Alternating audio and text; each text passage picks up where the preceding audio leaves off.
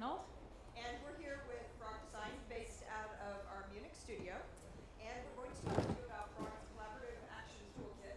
We know there's been a tremendous amount of discussion about collaboration, sharing, groups, and making stuff. And this is a toolkit that will allow you to engage in all of those activities.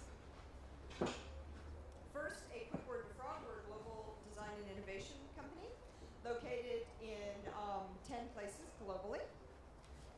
Our roots are in the Black Forest. Hartmut Esslinger is the founder of Frog, and his initial claim to fame was some early work with Steve Jobs on the first all-white Macintosh, the Snow White design language.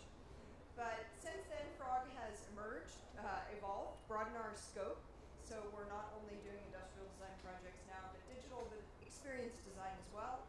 Our work goes from design research all the way through to actually making and building the things that we design and think of. And it is critical for us that our solutions be truly meaningful, have value, and be impactful. Our motto is love what you make. We feel like this passion shows through in work, in everything that, that we do. But not only is this a true statement for designers, but also for makers, for innovators, and for entrepreneurs. You're here today, I'm sure, because you love what you make. Is another piece that is essential to the design process, but it's another piece that we also have in common with the sharing and collaborative economy because the collaboration of diverse people, diverse backgrounds, and diverse opinions is what make our solutions impactful and make a phenomenal difference at the end of the day. So I just want to take a minute to talk about the design process as a little bit of a history around the evolution of the CAT toolkit. So if you think of the design process of starting with defining your goals, right? What are we here to do? What problem do we want to solve? And hey, let's go out and listen to what people have to say and look at what they do. So these images are from a series of projects around home appliances. Um, but not just the appliance themselves, about understanding the entire ecosystem that surrounds that experience and understanding how can we design and improve that ecosystem. And after we have defined what we're doing, we've looked, we've listened, we're going to try out some solutions, sketching, building prototypes, as many of you do as makers and entrepreneurs. And then guess what happens? Not always, but pretty often, there's kind of a fail moment. Um, we like to think of it maybe not so much as fail, but maybe closer to learn.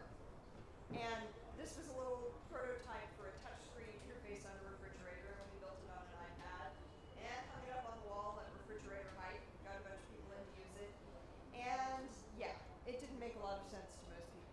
So it was sort of back to the drawing board, start over. Um, and, and this happens. So the process is not only define, look, listen, try, learn, but then repeat. So we began to ask ourselves, okay, this is this is a good process, but how can we learn even better? So here you have the designers at the drawing board working together from diverse backgrounds and disciplines and learning. But then we began to realize, hey, the more people we bring in from the community, from the places where we're our, where our products and services are going to impact, we're going to learn faster, our results are going to be better. So one of the first projects where we really became heavily involved in the community and brought the community in extremely heavily into the ideation and design process was the Girl Effect project in partnership with the Nike Foundation. So this project focused on girls in impoverished communities in Africa and India. And we wanted to help understand how can we empower them to live their lives in a circumstance that allows them to finish school and to become mothers when they're ready to become mothers. So many of these young girls are taken out of school and married at a very young age where they become pregnant, generally against their will. And that is the end of their ability to really have control over their lives. So the Nike Foundation project involved weeks and weeks on the ground with these girls and giving them tools to really capture their own stories, tell their own stories. Ah, okay. Tell their own stories and uh, come up with solutions that would make a difference to their lives. The impact was phenomenal. The girls' stories, their own ideas, um, were what really began to make a difference. We prototyped a tool that triggered both digital and face to face interactions between girls where they could make connections with each other and have a community to help them stand up to their parents and say, No, I want to finish school, or stand up to other people in the community with their own vision for their own independent future. Um, and while this project was successful in many ways, we realized we could make it even better. So, is there a way that's even better? And one of the first things we noticed from this Girl Effect project was, oops, sorry, was if we got the designers out of the way, what would happen if groups got to actually do their own work and do their own collaboration and see the difference that they could make in their communities?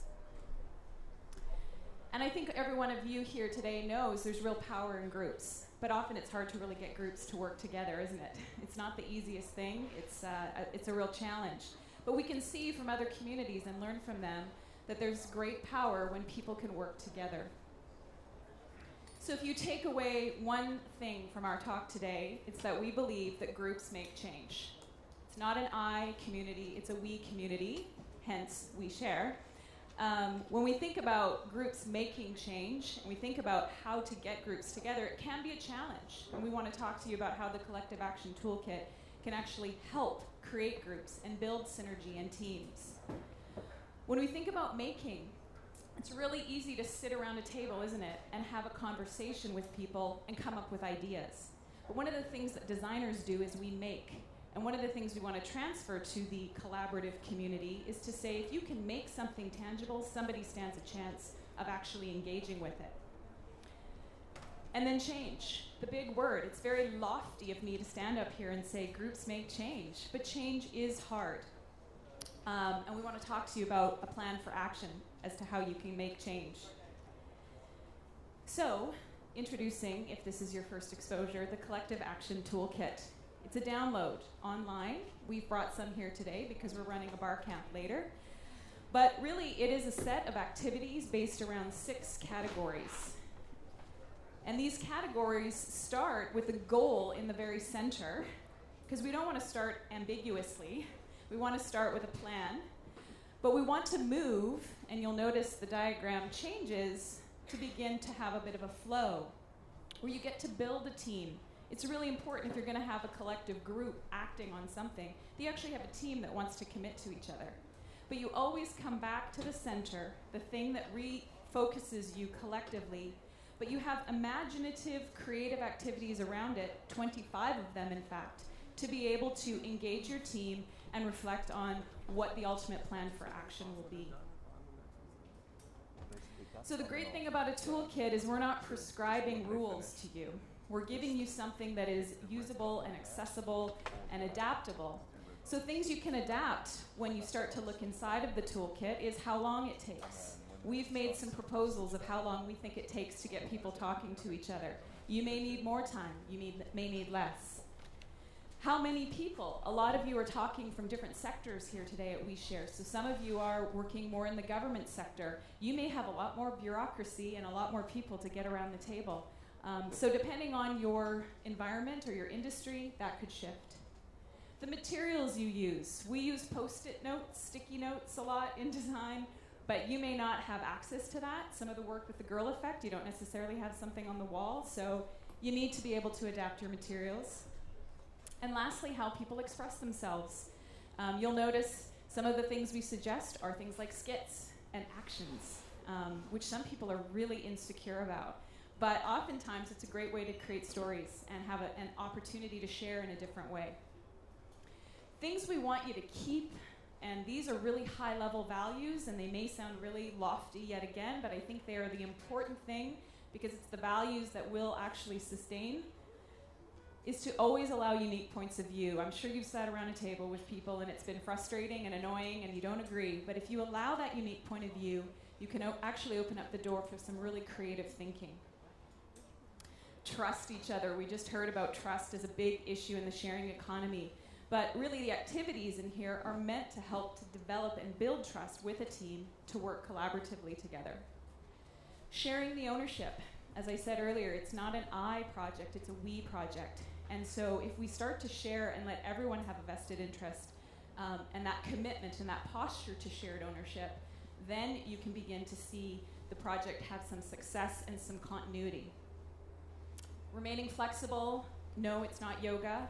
It's actually remaining flexible in your personality. Maybe yoga will help, but we really know that this is the, the way that designers work. We have to be open and very adaptable, and flexibility in the situation is obviously key. And lastly, make it tangible. If we can't show something, it's very hard for people to engage with the products and services that we develop. In the same way, when we're talking about new types of sharing economy outcomes, we need to be able to show people something that they can grab onto.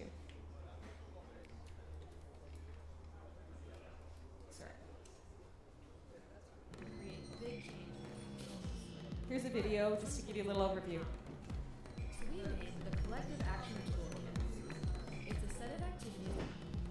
So the music's coming from somewhere else. Hold on.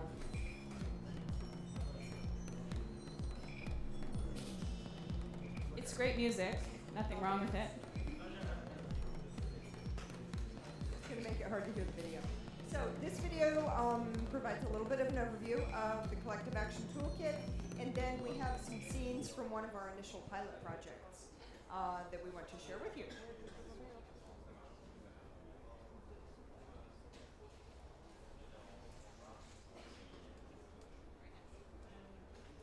Yay.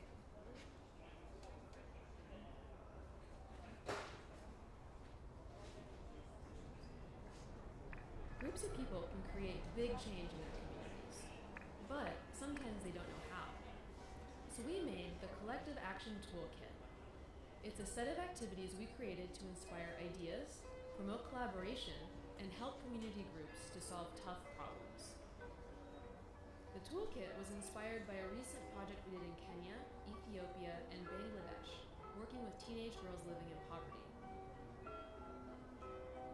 project, we had to take the design process we used every day for creating consumer products and services and adapt it to empower these girls to create meaningful changes in their daily lives. When the project was over, we asked, how can we empower community leaders anywhere in the same way? We spent the following months inventing and testing activities for use by anyone. There's Idea Remix, where groups combine different kinds of ideas to create something really new. There's Lights Camera Action, where groups use skits to express their ideas and are given 10 minutes to imagine the skit's concept, conflict, characters, and resolution, then perform it for one another. There's even Prototype It, an activity where you make a physical version of your idea and test it with people in your community. Then take what you've discovered and make it even better. Within six months of releasing the toolkit, it's been downloaded over 10,000 times. It's already being used by community leaders, nonprofits, NGOs, schools, companies, startups, and even governments. So, as we mentioned earlier, you can download the Collective Action Toolkit online for free at the website here. We also have a number of copies, so if you're joining us for the bar camp, you will receive a copy. These are now images from one of our early pilots of the Collective Action Toolkit. This took place in Savannah, Georgia. There is a design school there, and the students took the Collective Action Toolkit into the classrooms of the local high schools. And the students in the high school chose what they wanted to focus on.